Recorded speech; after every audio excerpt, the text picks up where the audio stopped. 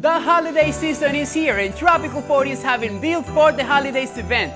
If your wish list includes a new or pre-owned car, then Tropical Ford has what you are looking for.